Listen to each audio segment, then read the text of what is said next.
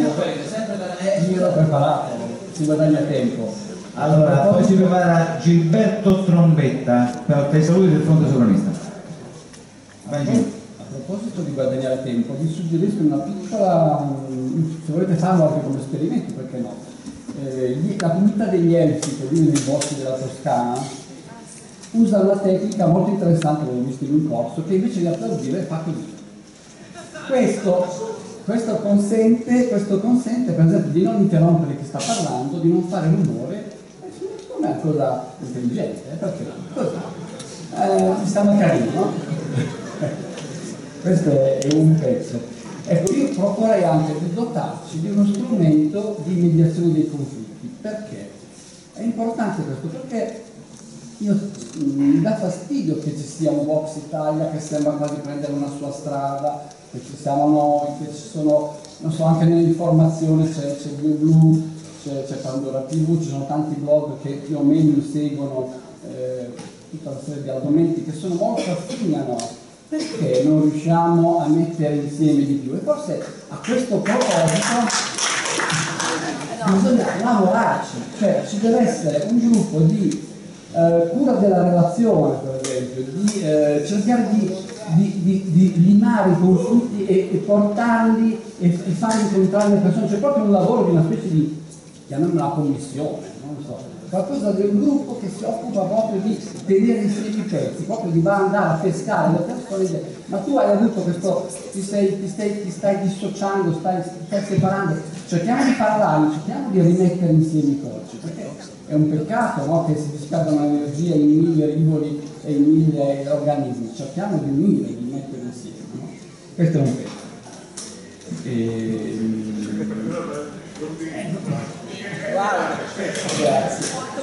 Ecco, una cosa importante che ha detto un operatore finanziario che è venuto nel nostro agriturismo ha detto una volta, fin tanto che un sistema non sarà in grado di soppiantare quello che esiste, quello che esiste non cambierà mai. E forse l'obiettivo quindi deve essere questo, cioè dobbiamo porci il problema di fare un progetto di insieme, operativo, concreto, che, sia, che si proponga di sostituire l'attuale sistema, cioè non basta criticare il sistema, bisogna preoccuparci di progettare e costruirne un altro.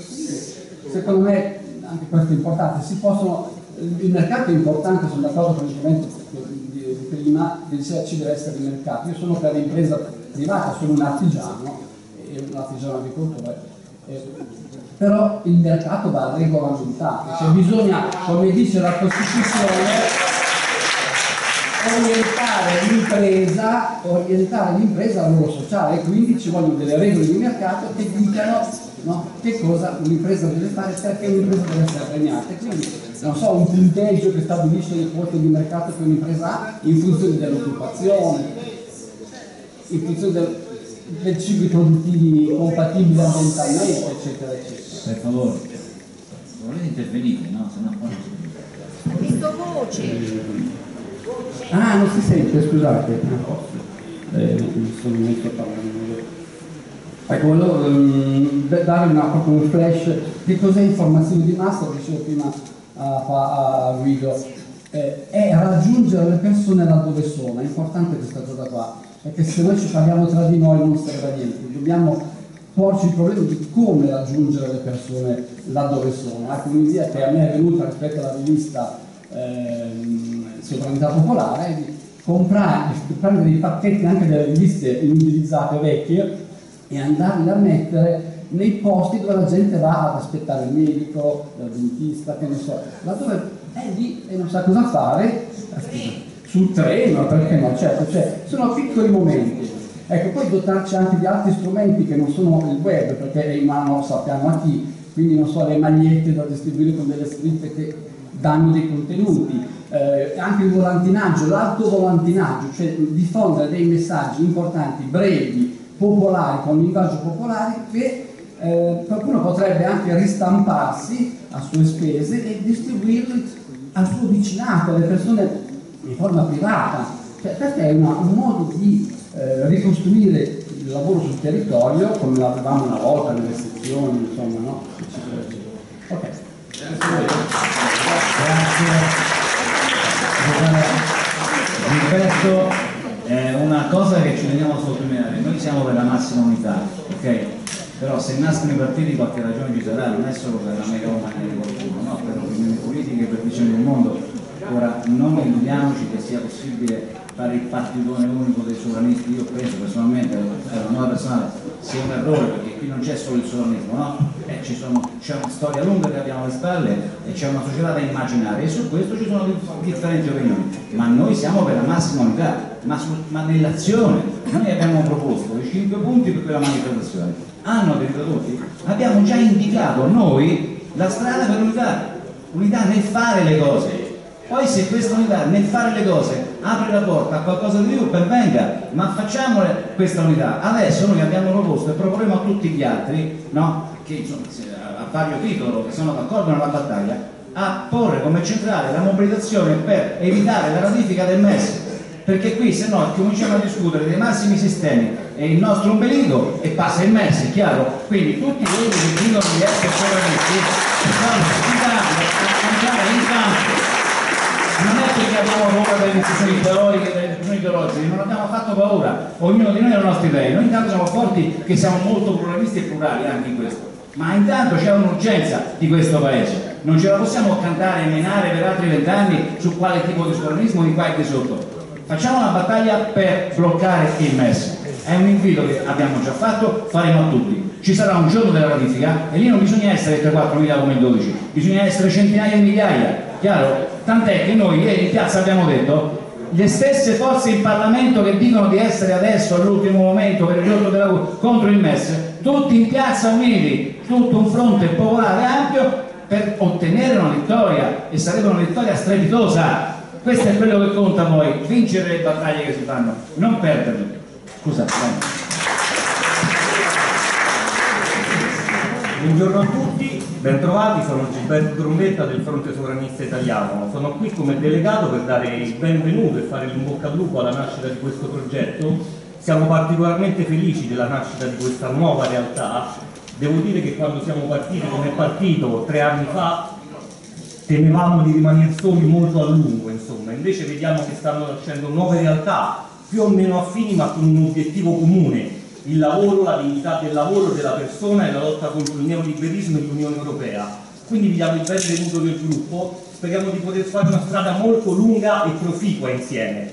Noi diamo la nostra massima disponibilità per lavorare fianco a fianco con unità, ci vuole tanta unità da parte di tutti e uscire un po' dai social e andare un po' nella vita reale, nelle piazze, nei mercati, nelle periferie dove le persone ancora non sanno perché gli è successo quello che gli è successo. Uno studio inglese di un paio di anni fa ha cominciato a chiamare le cose con, il loro nome.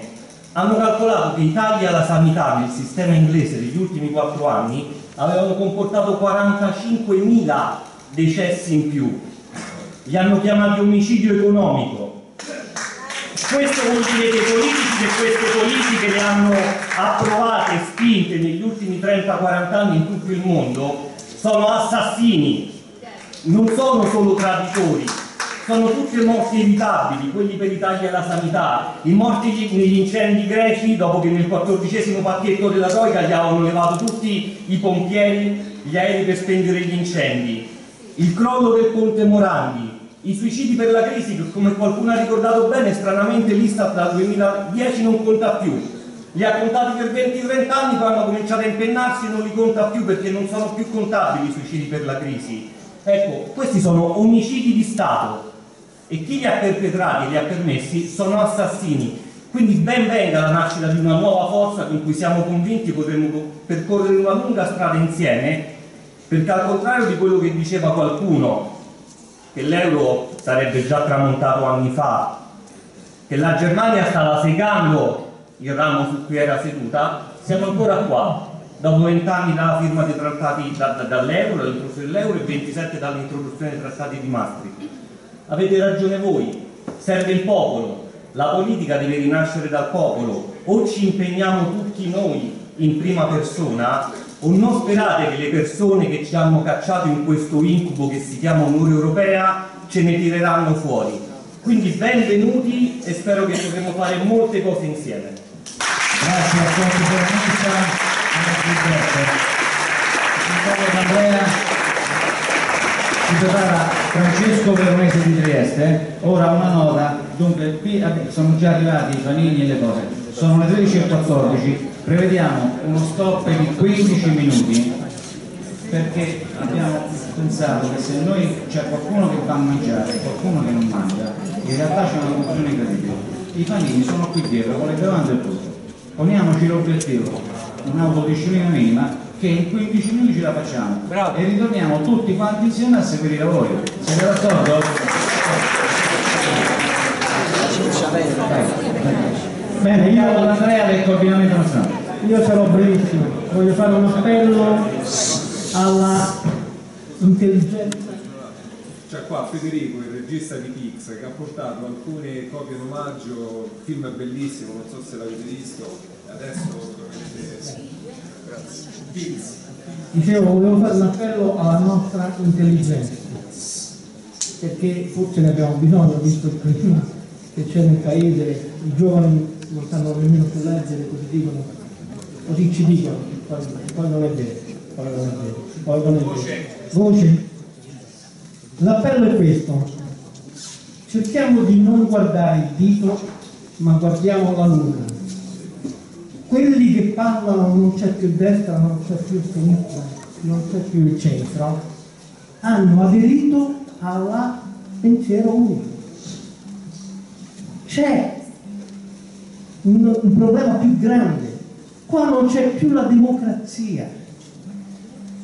Magari ci fossero i partiti politici erano scuola per le persone che, che si incontravano, che si scontravano, che si confrontavano. Non ci sono più. La destra e la sinistra sono la stessa identica cosa e hanno svuotato le sezioni, hanno svuotato i circoli, hanno svuotato tutti i luoghi di discussione in questo paese. E sta cominciando anche lo svuotamento delle organizzazioni sindacali, sempre più burocratiche, sempre più lontane eh, dal popolo. Prima il medico diceva sono dieci anni che non prendiamo un aumento di stipendio e, e i medici diminuiscono nel nostro paese, quindi con tutti i danni che ricordava. Noi dobbiamo renderci conto che non abbiamo più una democrazia rappresentativa nel nostro paese, perché se ci fosse una, una democrazia rappresentativa ci sarebbe come la destra e la sinistra, perché i partiti rappresentano delle parti della nostra società, sono vitali per la nostra società. Allora l'appello che faccio io è questo, costruiamo, rimaniamo l'Italia come una casa a cui teniamo, come una casa che amiamo, dove cominciamo a confrontarci, magari anche a dividerci, magari anche a scontrarci, a confrontarci per trovare soluzioni di cui abbiamo bisogno. Noi dobbiamo fare tutti noi uno sforzo, al di là delle appartenenze. Vedete, io sono vecchio, ma io dico che sono un uomo vecchio, ma un giovane socialista, e, e dico che emergeranno necessariamente differenze, eh, posizioni politiche, posizioni teoriche eh, eh, differenti, ma Liberiamo l'Italia può essere un grande momento di ripresa, di, di sovranità popolare, di occasione per eh, riportare la politica lì dove deve stare, nella città, nel, nelle, nei, nei territori, nelle eh, università, nelle scuole, nelle fabbriche. Dobbiamo ricominciare un'attività politica vera, perché capitale finanziario, perché il neoliberismo ci vuole in ginocchio, ci vuole senza cultura, ci vuole tutti uniti per dei miti che poi in realtà eh, comportano dei danni al nostro eh, alla nostra casa. Allora io concludo facendo due proposte, così eh, per essere anche concreti e finalizzare un po' le cose. Eh, io propongo che tutta la campagna del MES eh, sia da qui a quando ci sarà la, la, la ratifica, sia accompagnata da una presentazione di Liberiano Italia come un'occasione per tutti quelli che vogliono ricominciare a fare attività politica vera nel nostro paese, quindi presentiamola in tutte le città d'Italia. Studiamo un roadshow e presentiamo in tutte le città d'Italia, liberiamo l'Italia. Seconda cosa, Io faccio una proposta, vedete, secondo me i simboli sono importanti, i simboli sono importanti, c'è la gente che si è fatta fucilare per la, per la propria bandiera, per il proprio simbolo. I simboli sono importanti, io propongo di unire a Liberiamo l'Italia un simbolo che si chiama Italexit in modo tale che così siamo chiari, siamo chiari qual è l'obiettivo di fondo che vogliamo, perché altrimenti senza l'uscita dall'Europa, senza l'uscita dall'euro, noi non raggiungeremo il nostro obiettivo. Segretario Francesco Veronese. Allora, poi si prepara Fabio Frati e dopo Fabio Frati facciamo i 15 minuti di interruzione per mangiare il panino. Buongiorno a tutti, eh, due parole sul nostro giornale Sovranità Popolare, dobbiamo farlo, sono,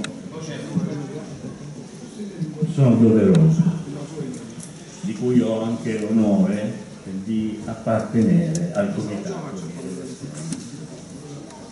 Ormai è riconosciuto che i mezzi di comunicazione di massa diffondono la cultura dominante e come diceva uno studioso di questi argomenti, concorrono a creare un immaginario collettivo fatto di quelle stesse informazioni, di quegli stessi simboli, di quelle stesse immagini che questi mezzi propinano.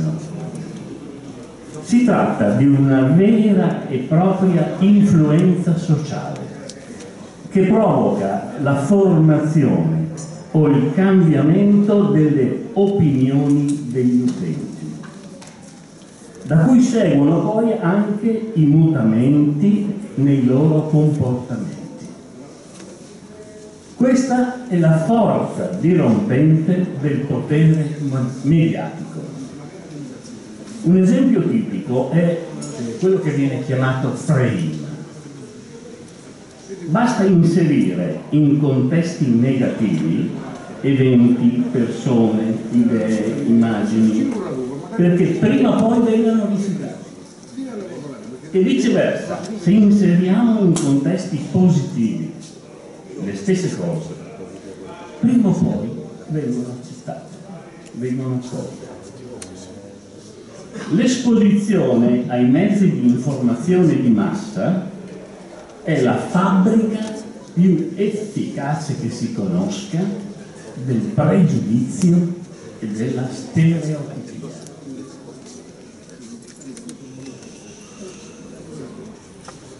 Sovranità popolare vuole rompere questo perverso meccanismo con l'approfondimento e con la conoscenza. Sovranità popolare si libera dei vincoli editoriali del padrone, tra virgolette, perché tutti possono diventare editori. Non esiste un unico editore che possa imporre il suo punto di vista. I, I, nostri presupposti editoriali sono privi di centri di potere economici e politici. Ma come facciamo con un giornale nato da poco, contrastare mezzi di informazione così potenti e consolidati? Ebbene, ci sono degli studi di marketing affidabilissimi, perché verificati in pratica, che dimostrano che è possibile distruggere l'efficacia del potere mediatico. E la parola magica, chiamiamola così, è una parola inglese che però nasconde un concetto semplicissimo, micro-influencer. I micro-influencer sono persone che agiscono solo nel loro entourage di conoscenze consolidate. In questo ambito, se manipolassero gli altri, verrebbero subito scoperti e respinti perché sono ben conosciuti. Ma se esprimono convinzioni autentiche, questo viene immediatamente percepito È questa la differenza sostanziale col messaggio mediatico. Tutto questo eh, sembra banale, ma non lo è. Si pensi che stanno appunto costruendo degli indirizzi di laurea a certe università su questi argomenti e ci sono dei specialisti che girano i mercati per proporre soluzioni con questi sistemi. L'azione dei micro influencer è dimostrato, risulta sempre vincente nella forza nei confronti della forza dirompente dei mezzi di diffusione di massa. Personalmente ho voluto anche verificare l'effetto di questa teoria, che non è una teoria, perché è una pratica. Francesco Ermino. Eh, io ho un amico che ha avuto dei successi professionali enormi, è molto sicuro di sé, e è abbonato a Repubblica a- e a giornali di questo tipo, perfettamente allineato col PD e il centro-sinistra, convinto europeista, non gli ho mai parlato, cioè gli ho parlato di, di che cosa mi occupo, ma non ho mai tentato di convincerlo. Ho semplicemente inviato via email le copie mediatiche del nostro giornale. Essendo una persona intelligente e curiosa, le. Recentemente l'ho incontrato e mi ha raccontato che intende cambiare, rivedere la sua posizione politica e mi ha chiesto come fare per mi ha chiesto come fare per iscriversi, per abbonarsi al nostro movimento. Tempo, tempo. E allora una cosa solo diciamo. Sono dati che forse voi conoscete. Gli abitanti, i cittadini italiani sono 59 milioni. Gli attivi sui social sono 35 milioni. Il 74% di questi interagisce con i post e scrivendo nei, social. Un italiano trascorre mediamente un'ora e 51 minuti al giorno sui social. E poi ci risulta, da certe statistiche, che Facebook costituisce l'81% di tutto questo. Beh, È il caso di pensarci. Grazie Francesco. Allora, Fabio Fabio, poi facciamo la pausa, 15 minuti secchi per, per il panino per rifornirci lui. Allora, oggi penso sia un momento molto importante, molto importante e dobbiamo farci i complimenti. Dobbiamo farci i complimenti perché come siamo arrivati da qua? Penso ognuno attraverso la sua strada, c'è stato un momento di presa di coscienza, tanti anni fa, in cui abbiamo realizzato che tutte le cose che ascoltavamo, che ci raccontavano, non davano soluzione ai problemi, ai problemi che vedevamo accadere intorno a noi. Poi c'è stata la fase dello studio, del confronto. Personalmente per me è durato una decina di anni in cui ci siamo incontrati qua.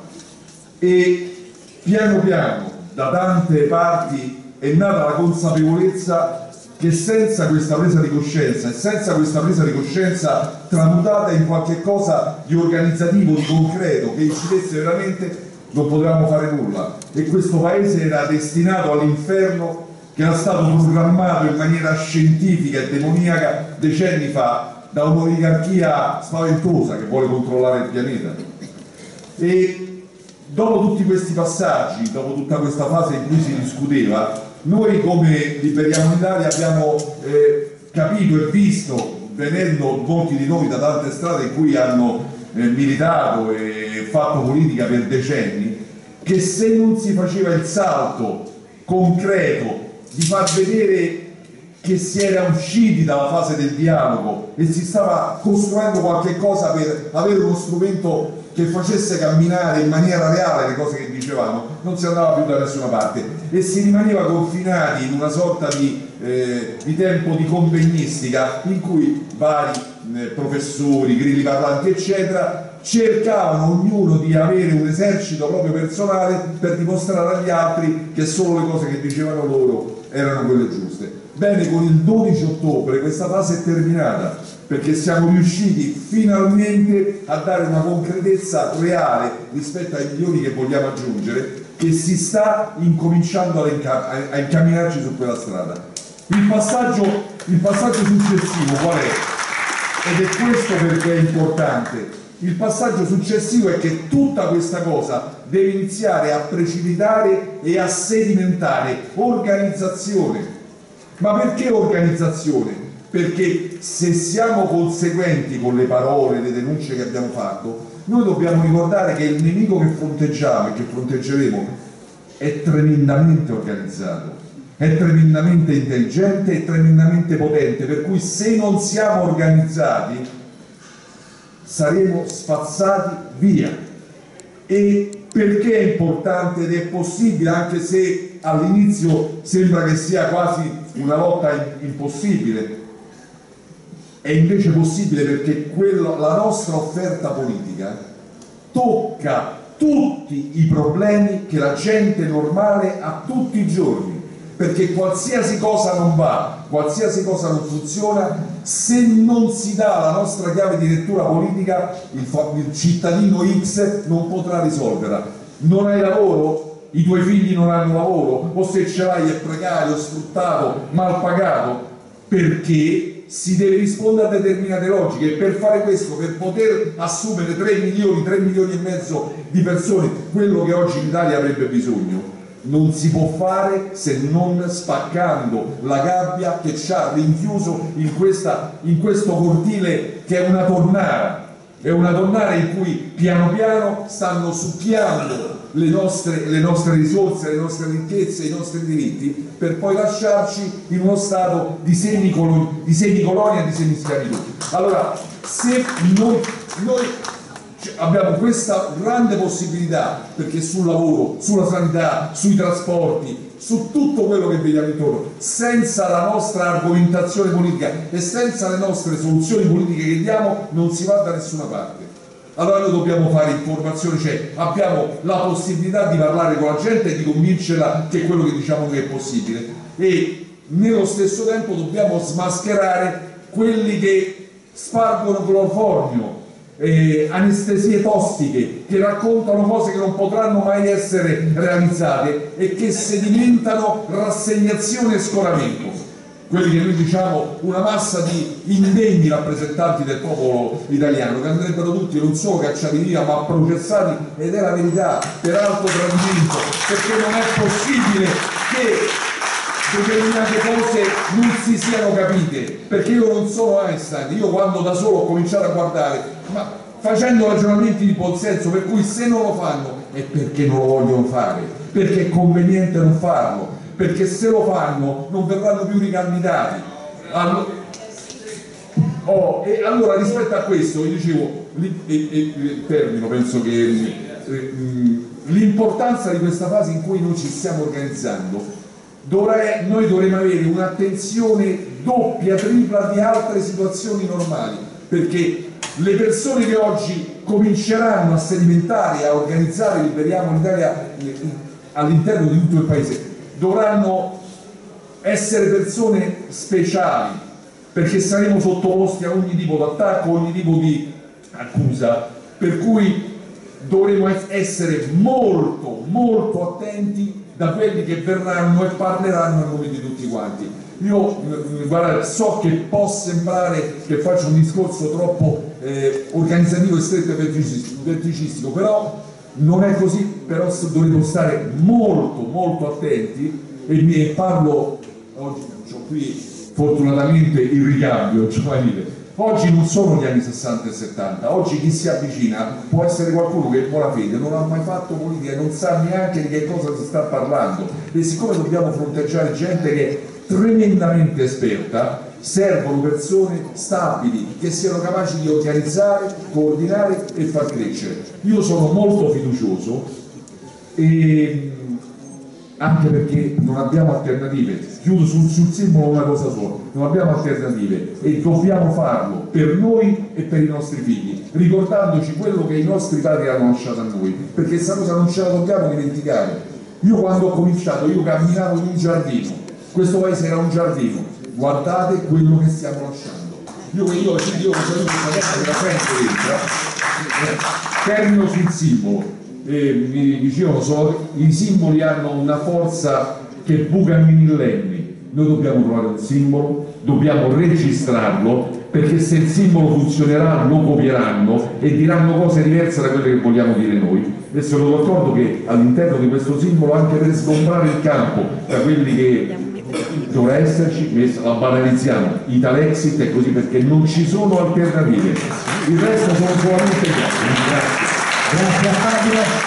Allora, sono le 13.35, tra 15 minuti io faccio il concerto a voi.